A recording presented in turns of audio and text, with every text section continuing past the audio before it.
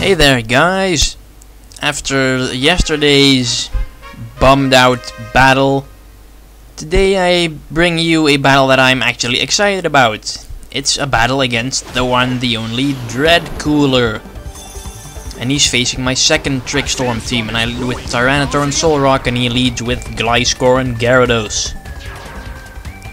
So yeah, I was really glad that Dread Cooler wanted in on the 1000 sub thing because he's awesome. And I did not really see the taunt coming. So Solrock is not going to be able to use Trick Room now. And he really wants to take it out apparently. But that's what the sash is for. And his Gyarados has the Wacan Berry. And considering that and the Intimidate, Tyranitar's Thunder Punch is pretty disappointing. And Solrock can't use Trick Room.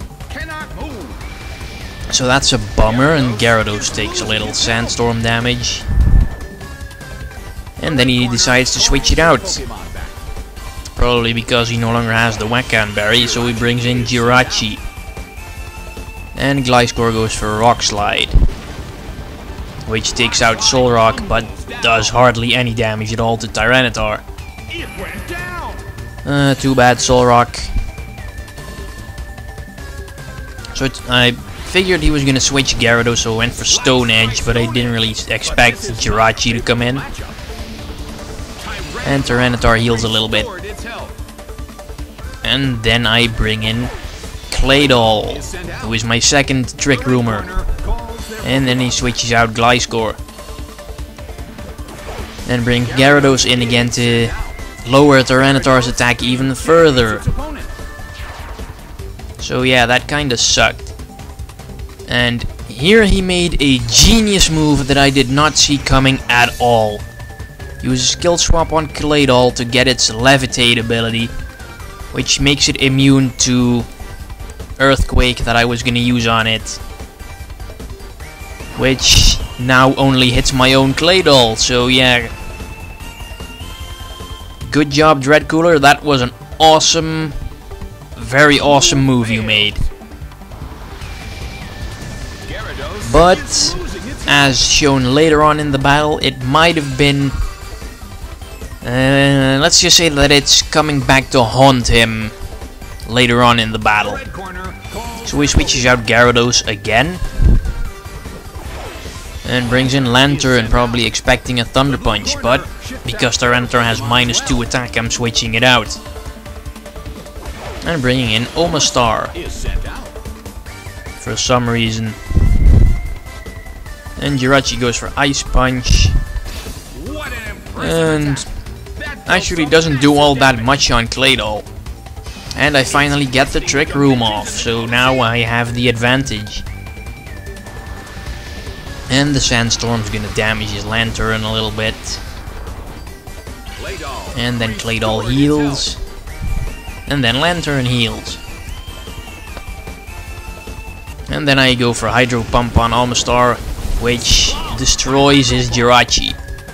It's like, huh, not bad. Guess his Jirachi isn't all that bulky. Take a little Life Orb recoil, and then I go for Earth Power on Lanturn. And here's where Serene Grace comes back to haunt him because he gets a special defense drop on Lanturn. And he goes for Discharge. Guess he really wanted to do something to Omastar, but because of the Sandstorm it only...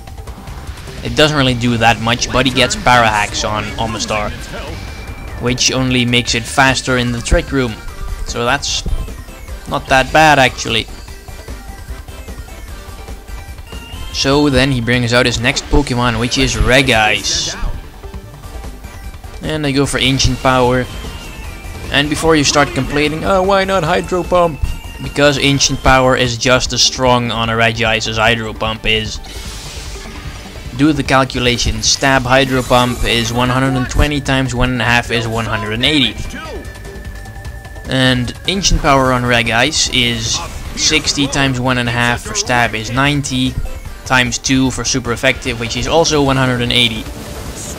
And Ancient Power has better accuracy and the chance of raising my stats, so that's why I went for Ancient Power. So don't bitch about it in the comments. And he takes out Claydol, which is pretty bad because I don't have anything to set up Trick Room now because he's killed both Solrock and Claydol. So once this Trick Room runs out, I'm going to be in trouble. But Sandstorm takes out his Lanturn, which is good because my team does not like water Pokemon. So out comes Marowak, who is a beast. He destroys everything. And Dread brings out Gliscor again, only to switch it out immediately. And he brings in Gyarados. Guess he wants to intimidate Marowak. But even with the intimidate, Marowak has massive attack. And Regice goes for Protect. Guess he wants to try and stall out the Trick Room. Because he knows once the Trick Room's gone, he'll have the advantage again. And Ice Beam does pretty decent damage on Gyarados, almost knocks it out. And then Marowak goes for Rock Slide. And Regice unfortunately protects, but it's going to take out Gyarados. So I'm really not doing all that bad now. And this is also like one of the most fun battles I've had in ages. So Regice heals a little bit.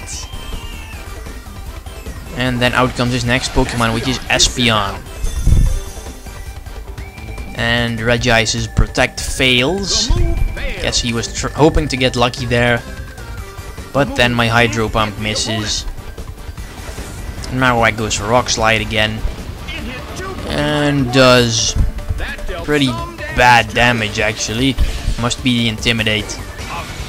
But Espeon's Psychic is pretty disappointing as well. I mean, it's a Marowak and it only did slightly over half. But the Sandstorm damages his Pokemon a bit more. And Regice recovers all that damage immediately. And the Trick Room runs out. So he immediately decides to go for the offensive, takes out Omastar. But I don't really know why Signal Beam, maybe he was expecting me to switch to Tyranitar or something. And his Blizzard then misses, which was very helpful because now Marowak can use Earthquake, which takes both of his Pokemon out. So, things aren't looking that great for Dread Cooler right now. He only has one Pokemon left, and I still have uh, three. So I bring out Nidoking because I know what Pokemon he has left, which is Gliscor. And I know Nidoking can easily deal with it, but Gliscor goes for Earthquake first.